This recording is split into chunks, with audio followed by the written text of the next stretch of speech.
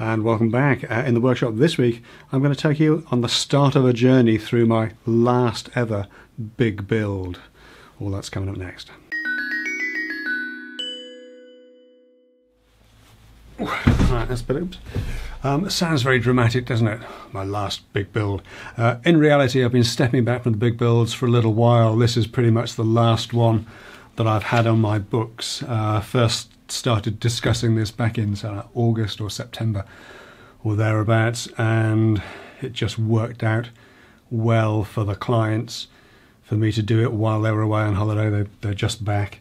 So, for the last couple of weeks, uh, if you've followed me on Instagram, uh, you'll have seen some of this build coming through. Um, I because it's my last big build, and I've known these clients for a long, long time. Um, because it's the last big build, I've shot a lot of video on this, over 800 gigs of 4K video. So there'll be a few videos coming through on this, uh, including the, uh, the the build here in the workshop for the carcasses and for the doors, uh, the install as well on site. Uh, and in this video, we're going to talk about the prep work, the, the work you do before you get to doing the build, before you even get to doing the cut list, which involved templating the space, uh, and what you do with the template afterwards. I, I, have done a longer video about the templating process, uh, which is on my Patreon channel. Uh, feel free to go and take the, a quick look at that if this tickles your fancy at patreon.com forward slash 10 minute workshop. But in this one, we're going to touch a little bit on the uh, templating process, but then what you actually do with it afterwards. Let's talk about this this job to start with.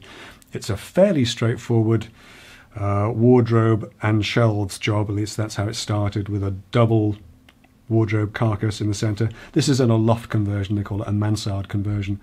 Uh, so you end up with a very steep angle on one side. So there's a bit of a fiddly angled unit, wardrobe unit, shelf unit to go in there, and also a really skinny little bookcase uh, uh, in another alcove on the other side of the chimney breast they were originally designed as open shelves, and then the clients decided that they want them all enclosed with doors. Uh, that does come back to bite me later on in the install, as you'll see. But other than that, it's essentially a fairly straightforward double carcass. Um, the single angled carcass, which is a bit tricky, and with the angled door as well, and then a skinny little bookcase type. Um, the double carcass is laid out mostly to hanging space with some uh, open shelves which are adjustable. Uh, in the bookcase, they are adjustable shelves apart from a fixed centre shelf. And uh, again, in the angled one, the uh, shelves at the base are adjustable, but obviously fixed as you go further up. Although it did make the the upper one removable just in case they had tall, skinny things to go in there. Um, this is video and this series is a little bit different to what you may have seen before because I have shot because it's in a very small space I have shot an awful lot of it on my little sort of action camera uh, type of thing. So it is all a little bit looser and the quality particularly the audio quality won't quite be what you expect from me. Uh, that's how it is sometimes. You know it's just just roll with it. Uh, the whole thing is a little bit looser and a little bit more casual. Uh, so there'll be several videos coming through, but this particular one was all about the prep work, the templating, and, uh, and what you do with that template afterwards. Let's let's uh, dive right in, and uh, we'll take a look at the uh, very first video that I shot in the space as I was just about getting ready to template. Okay, so this is a rare treat to be able to actually get into an empty space which is genuinely completely empty before I start making stuff. Uh, because we've got this slightly awkward shape, I'm putting wardrobes into uh, this alcove to the right with the uh, sloping ceiling, sloping wall, and this teeny little skinny alcove to the left, so shelves in there. And in order to try, although this is a relatively although this is a relatively new build uh, up in the loft space, a mansard roof they call it. Um, I'm going to be happier if I can template this space, which is what I'm going to do now with a load of little bits of stick and some glue. Uh, and then at least it gives me a, a proper idea of the amount of space, the exact space that we've got to play with. Right, well that's me done. Back to our clear space as it was before. Time to try and shoehorn those templates into the van now. Quite long. I think they'll fit sort of. Whether they go in in one piece remains to be seen. But yeah, as I say, a bit of a luxury to be able to have this kind of empty space to play with. Uh, but I shall take advantage of it where I can. Um, I may even actually make the plinths and just bring those in. Get those fitted first before I start fitting the other stuff because it's just one less thing to have to do. Anyway, enough of that. Uh, time to get back to the workshop. Get the cut list sorted. That can go in. I'll have that early next week and then I can start assembly and machining and painting and all that other good stuff.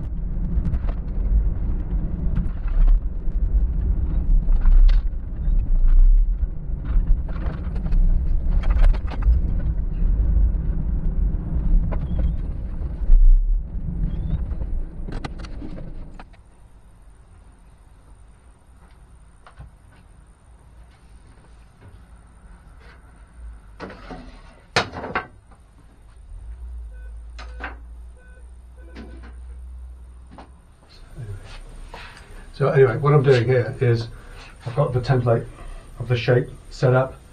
Uh, I've marked out where the double carcass is. I want to put the uh, the carcass edge for this angled set of shelves in so that then I can figure out where how high these shelves are going to go so I need so I've got an idea of how wide they need to be because fairly obviously you know, they're getting wider the lower down you get. So that's the plan. Anyway, as soon as my glue gun is heated up, I'll just pop a, a dab of glue on there, get that fixed up top and bottom, and then we can get these uh, roughly measured in where we want them to be.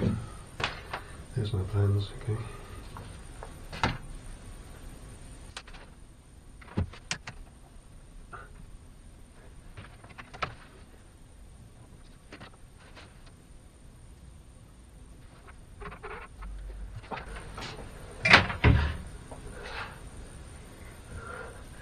Gotta love a bit of hot glue, haven't you?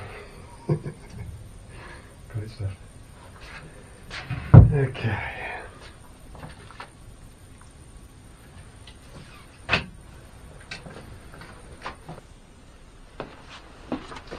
Okay, so this bottom of this is the bottom of the carcass, and that's a piece of 18 mil. So that's going to give me the equivalent of the top of the carcass. And I know that I've drawn the shelf unit to be 900 mil up from that.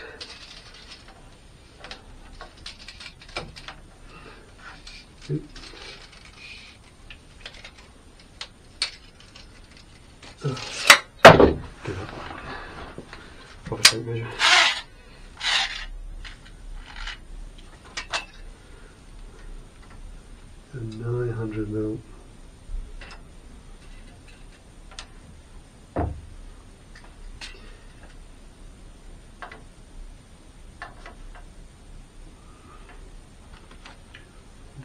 there, which is the absolute top.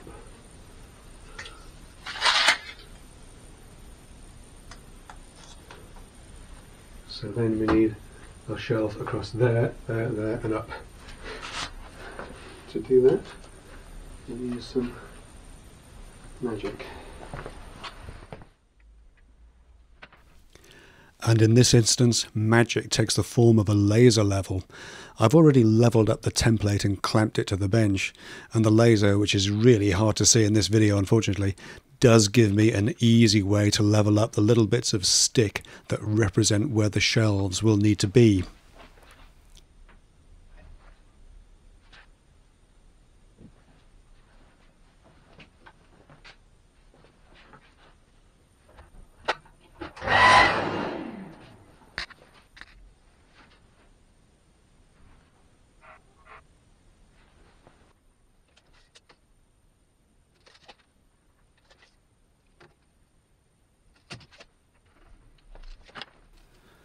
And with everything in place in the angled unit and the measurements of the angled shelves added to the cut list, I can add a few bits of bracing to the left hand double wardrobe template.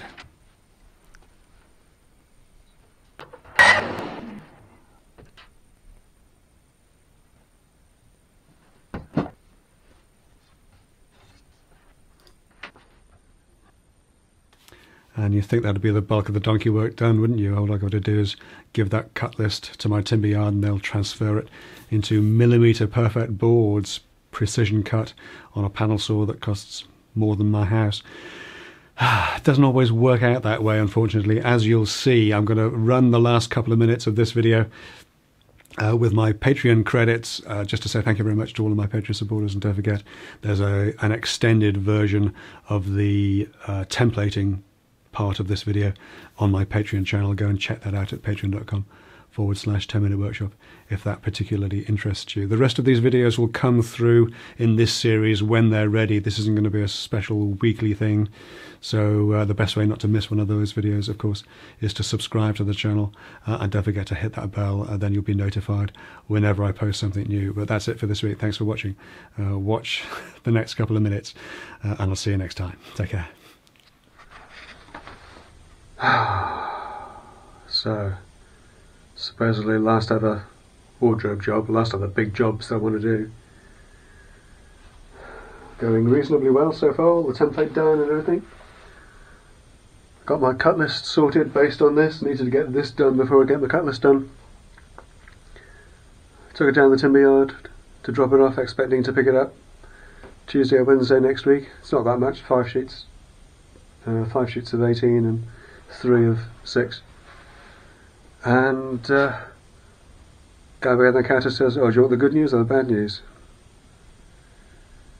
I said, "Okay, uh, let's do the bad news." He says, uh, "We're looking at a two-week lead time. Two weeks." Uh, and there's no, and there's no good news basically. Uh, they've got a big a big job in. They're doing a big hotel job. They're just running the panel saw 24 hours a day, more or less running agar boards through and they haven't got any space. So now suddenly, instead of having a couple of days, yeah, fairly quiet, pleasant weekend, and a couple of days early next week to do a few other little bits and pieces, suddenly I've got to run down to the yard tomorrow, pick up the 18 mil, so I can get that cut over the weekend, and get the 6 and the 22 on Monday to get that done. It's just, just not what I need.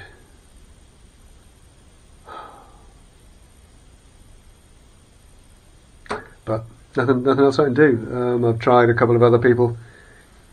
There's a company called Cutwrights who are well regarded, but they, they say they work to an eight day lead time, so stuff. There's a few other yards around, but their their panel cutting is they've got a bloke on a panel saw that will rip a sheet of MDF in half for you, sort of. But nobody that does the kind of you know precision cutting that my guys do. Uh, so I'm a bit stuffed. I'm a bit stymied on this, and I just don't see any way around it other than cutting the stuff myself. So there goes the weekend. Yeah, anyway, Friday night. Time to go and get a drink, I think. God, what a start to our last job, eh?